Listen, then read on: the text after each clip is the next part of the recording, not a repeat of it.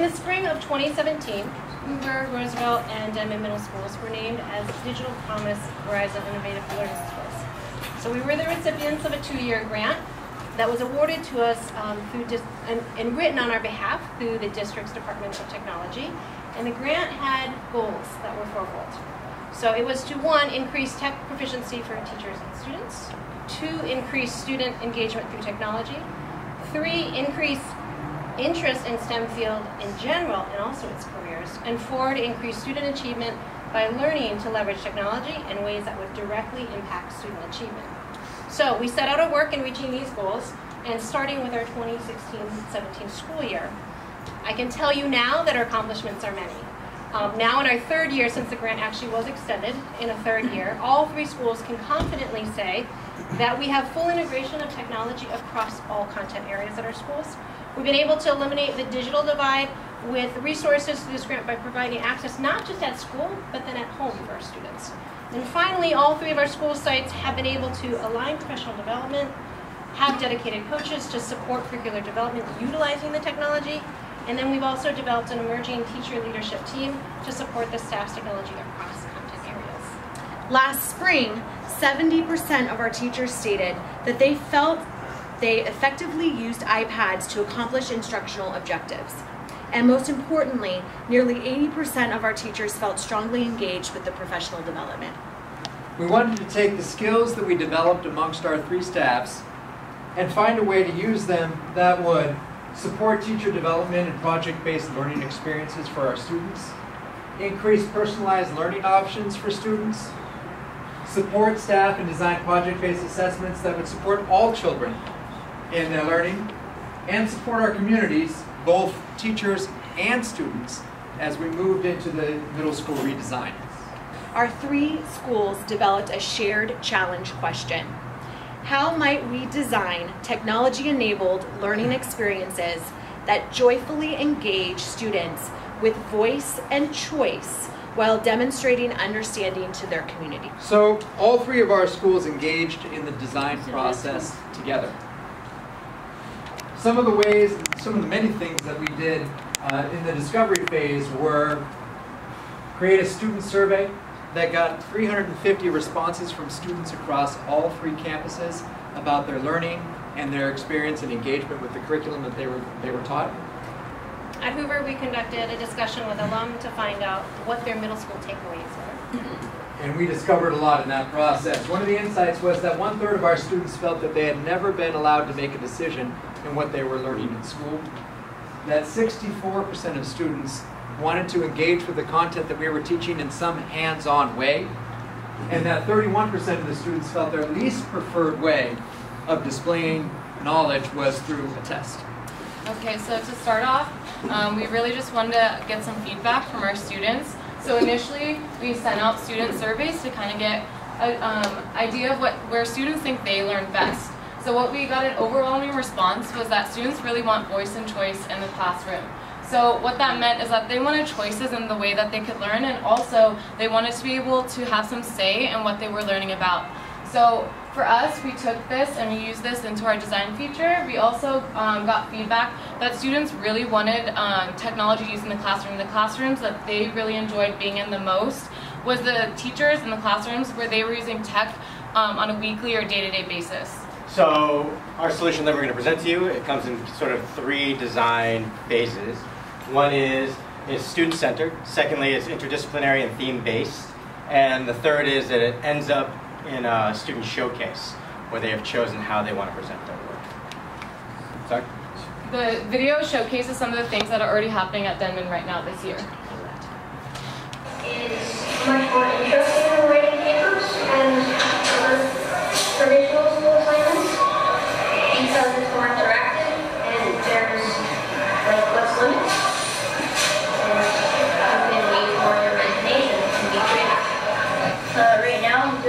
project where we talk about like stuff you can do during winter break. Stop motion, we just like did paper cutouts and then we just did like frame per frame and then it's like 60 frames per second. Um, I've done multiple projects in Mr. Lopez's social studies and teaching class using cameras and editing and iMovie. One of the projects I've done is I've taken a protest song from like the 1900s, and I've um, edited it to make kind of a B-roll footage with it. It's very fun because you get to cut the clips and make it timed perfectly. So design feature number one is all about student-centered project. So they'll choose a uh, project. Uh, They will be located in a particular dedicated space, and teachers will move in and out throughout the day. We're going to target them being in the classrooms for their four curriculums. Um, So the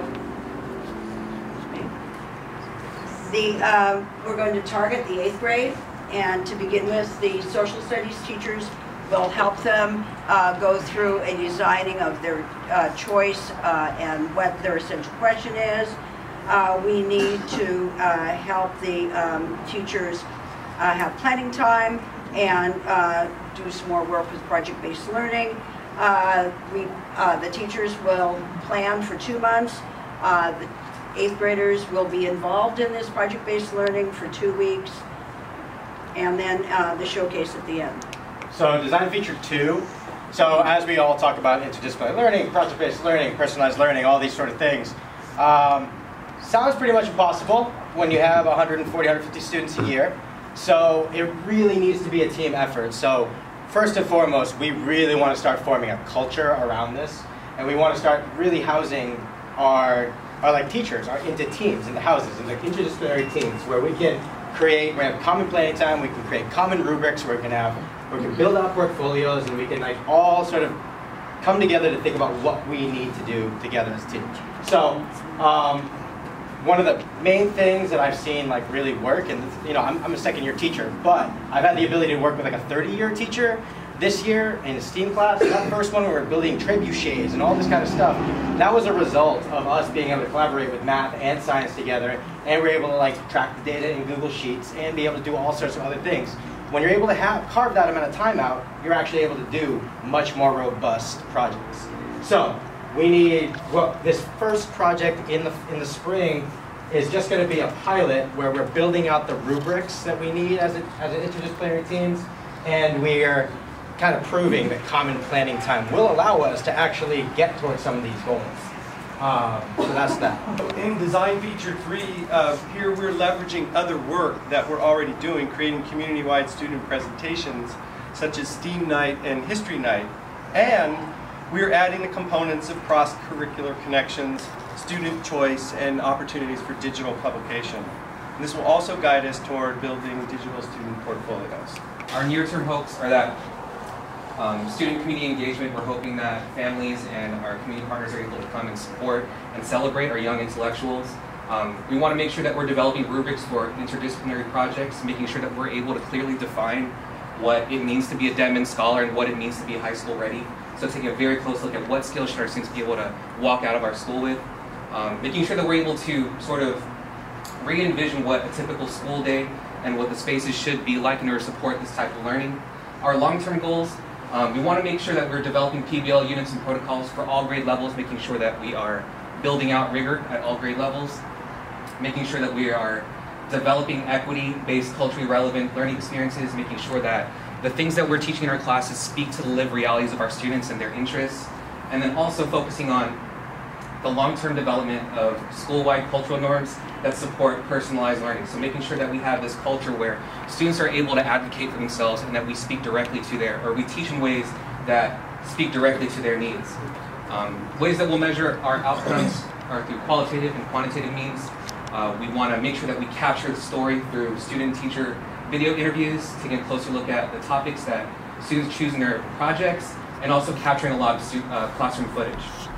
Quantitatively, we want to make sure that we're collecting data through surveys and make sure we're taking a look at how our students perform on the actual uh, project. And again, comparing it against um, our idea of stu- our students high school ready, and also making sure it falls in line with whether or not our students are fall in line with the 2025 graduate profile. So in summary, the timeline is in January, the social studies teachers will help students uh, develop essential questions and also give them instructions on how to do projects. Uh, In February through March, the teachers will get uh, project-based learning instruction, build rubrics, and start working on the curriculum. After testing in April, the eighth graders will be on a um, different schedule and they will be in different groupings. And teachers will be uh, going in and out of the classroom. And then in uh, May, at the beginning of May, there will be a showcase.